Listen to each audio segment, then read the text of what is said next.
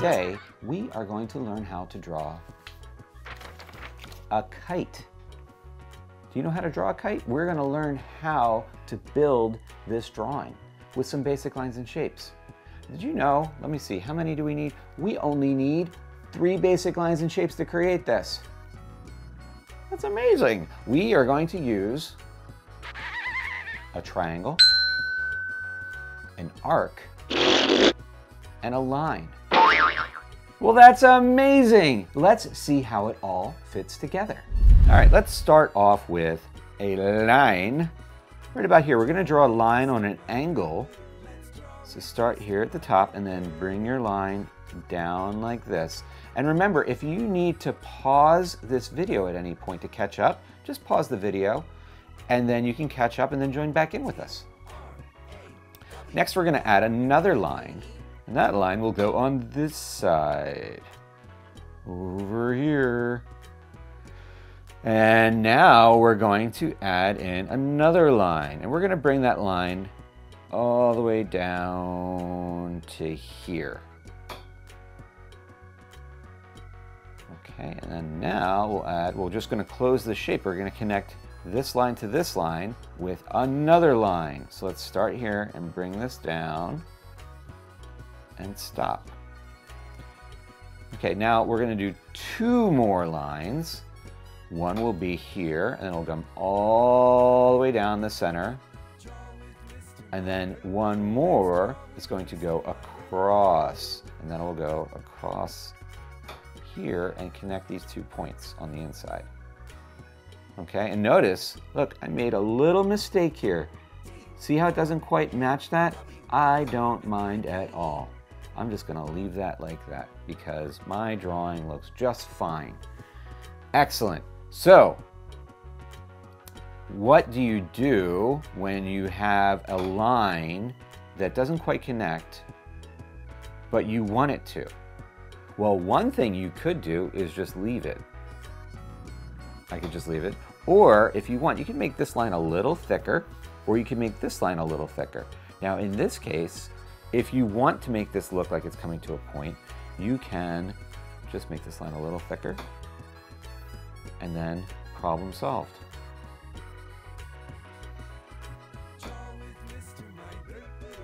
Just like that. Okay, so let's move on. Next, we're going to add in an arc. And I want that arc to start here. This is going to be the string for the tail of the kite. So let's start here and we're gonna make a nice big flowing arc that goes this way and stop. Okay, and then we're gonna add another arc, join that, that's gonna come around this way. So let's start here and have that arc go to here. And then we're going to add one more arc that goes this way. So we'll start here and we will have that arc come this way. And imagine this kite is flying through the air and the tail is whipping around like this. Now we're going to add in the bows that go around. And I'm going to show you how to make a bow very easily with triangles. Okay, so we're going to add two triangles pointing toward each other. So one will go here. There's three perfect three sides to this triangle. Well, there's three sides to every triangle, but these sides are the same length all the way around. Okay, so we're gonna have one triangle here, and then we'll have another triangle here pointing toward that one. Now there's an easier way to create this, but just so you know, this is two triangles. Now I'm gonna show you a different way to make this. If you start here, and then you go across the line, and then you start here and then you go across the line again. You you're making an X. Okay, and then you can just join the ends like this. Now we're going to create that all the way around up to the top. So you need to space these bows all the way around the shape. And what we're going to do is we're going to follow this path to make it look like the bows are following along with it. So let's start here. We'll do a our one line and then another line like that to make our X. And then we will close those shapes. Do it again. Now notice I turned my bow to match how the line was curved around.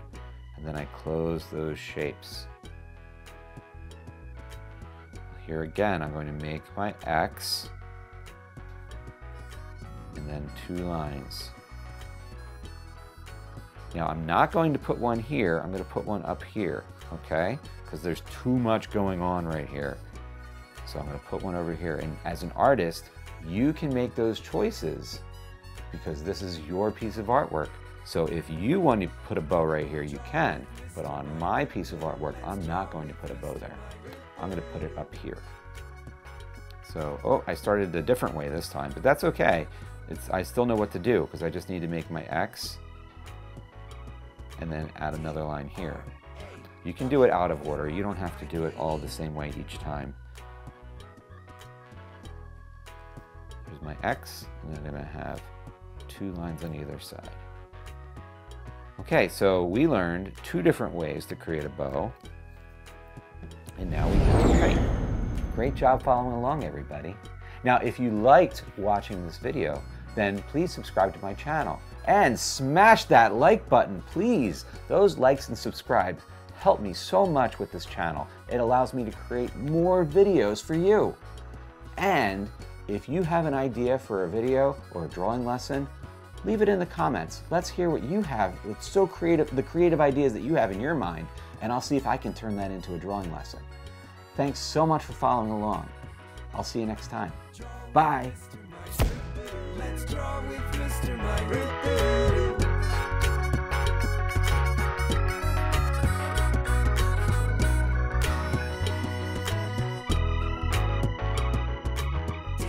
For this and other episodes, drawing lessons, activities, and books, please visit drawwithmrmike.com. And don't forget to subscribe to the Draw with Mr. Mike channel on YouTube, Vimeo, and Facebook. Draw with Mr. Mike. Let's draw with Mr. Mike. D R A W with M R M I K E.